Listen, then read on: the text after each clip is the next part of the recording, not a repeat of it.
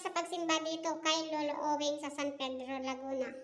Hi everyone! Happy Sunday everyone! At syempre, ah, pumunta nga pala kami dito kay Lolo Owing sa San Pedro, Laguna. So, first time kong magbibisita doon sa doon kami sisimba. So, kasama namin si Ate Beng, si Nanay Basyon, si Mama, si Nonoy, si ang aking dalawang pamangkin. Dahil nga guys, first time kong pumunta dito, ay syempre, dadaan muna kami ng NLEX. Southlex pala, sorry na guys. At medyo malayo-layo pala ang San Pedro dito. Grabe. Gumugol din kami ng isang oras guys na pagbibiyahe. At medyo traffic-traffic nga. Syempre, medyo traffic. Ayun. Nag-Southlex na nga kami. At habang nga dito, nasa daan ako, ang dami kong pangarap. Habang nasa daan kami, ang dami kong pangarap. Sabi ko, sana sa pagdating ng panahon, may din ako at matuto ako mag-drive. Diba? At nakakatuwa naman dito banda sa sa Laguna kasi tinan mo yung mga green na green yung kapaligiran at marami din mga puno. Hindi katulad sa Manila, wala na halos ikaw makita ang puno. May kita ka man, eh, patuyo na mga puno. Dito, pa, dito talaga sa probinsya, may kita mo ang daming mga dahon-dahon pa na talagang may kita mong green na green pa mga dahon ng mga halaman. Ayun na nga at grabing dayo pala nito guys. Kaya Siyempre, samahan nyo kami sa aming pupuntahan ngayong araw. Tara!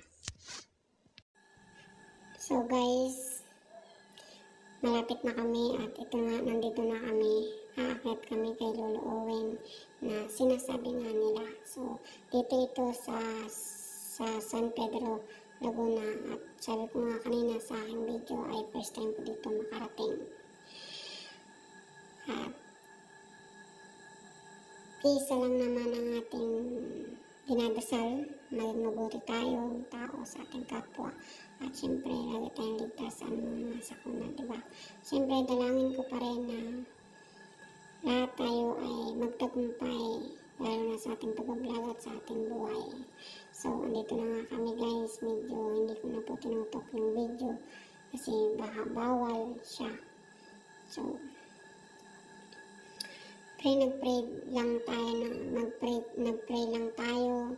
Nagpasalamat sa araw-araw at nanalangin sa ating pamilya. Ganun din sa ating mga malayo sa pamilya napakagaan ng kalooban ko na nakapagsimba ako dito. At salamat sa Diyos na wala tayong nararamdaman wala tayong wala tayong matinding sakit, nagkakasakit man tayo ay gumagaling ka agad. So tapos na ako manalangin dyan at gusto ko nang bumaba kasi talagang pinipilahan po talaga ito ng mga tao. Madami po talagang bumibisita dito kay Lolo Owen. Salamat sa aking pamangkin sa safe drive dito kay Lolo Owen. Pagkatapos na namin sumimba namin sumimba ay dumaan kami dito sa Robinson, Santa Rosa. Robinson, Santa Rosa yata to or Robinson Binyan. Medyo hindi ako pamilyar sa lugar na to guys. Kaya sorry na. Kasi ngayon, ngayon lamang talaga tayo nakapag pasyal dito sa Laguna. Siyempre dahil yan sa aking pamangkin, ah, kung dahil sa kanya, hindi tayo makapasyal-pasyal dito. Salamat sa treat din, siyempre. At ayun nga nakapasok na kami at siyempre tonggots na rin kami. At kailangan na namin kumain. O diba, di bilang-bilang kami kung ilan kami. At thank you so much sa pagtitreat sa akin. Yun, di ba, si Ate Bing ang nag-order. O diba, shoutout sa Sunny Lar, Sunny Dar. Ayan. Bari itong kapatid ko na rin habang kami eh Inaantay nga namin aming order. Aba, mo naman muna tumumudol-mudol pa. Sumasakit daw ang kanyang ulo. Aba, ito din pamangkin ko. Aba, ito daw support sa aking pagbablog. Salamat sa iyong suporta. At ari nga ito ay dumating na ang aming soft drinks guys. At talaga naman, imuubos ko ata na ang soft drinks sa, sa tagal ng order namin. For the waiting nga kami nito guys. O diba, for the selfie-selfie din muna kami. So, ayun na nga. Wala na kaming ginawa kung hindi picturean muna ang soft drink ng Sanidar. Dar, dar, dar, Sanida. O diba, shout out baka naman sa awa ng Diyos naman. Dumating na umukukunin namin ang aming order guys na chicken, chicken. Dito nga ay nawala yung diet ko sa no rice talaga. Hindi ka talaga makapag hindi sa rice ngayon. Talagang kitang-kita mo naman talaga. Oh, kasarap naman. At si Ate Bing ay nag-order din pala nitong sariwang Shanghai. Kasarap. Pag ganari talaga ang mga pagkain mo, ay makapatatlong rice ka talaga. Abay, kinuha pa ulit namin yung ibang order namin kasi kulang pa.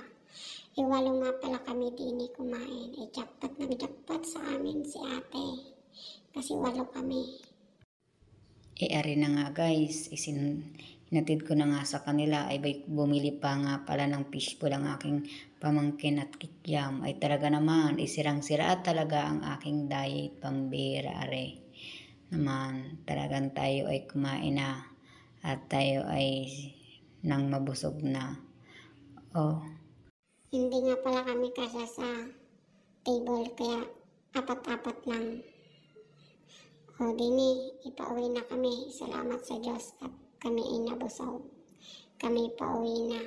At syempre, nag-grocery din kami dyan kahit paano, kahit konti. Bay si mama, may grocery din ni Ian na sponsor sa kanyang pamangkin. Ikabait talaga na rin.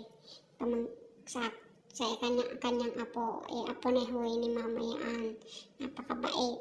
Meron pa siyang, binigyan siya ng grocery. Eh, thank you so much. oh siya, uuwi na kami sa aming bahay sa Kabuyaw, Laguna. Babay at ingakatan kayo ng Diyos palagi. God bless you. At ipollow mo ako at ishare mo na tong video na to. At siya pa nga pala guys, napadaan kami dito sa SM Santa Rosa. Eh dini, yung hindi namin makakalimutan eh, si Kati J. Tonton ay natulog sa SM. Ako'y tawan-tawa noong 2022 yon Kaya kinukwento ko sa kanila, yung itawan-tawa sila. O, o di ba, mga kahit wala nang mga ngipin, ingirit na ngirit sa katatawa.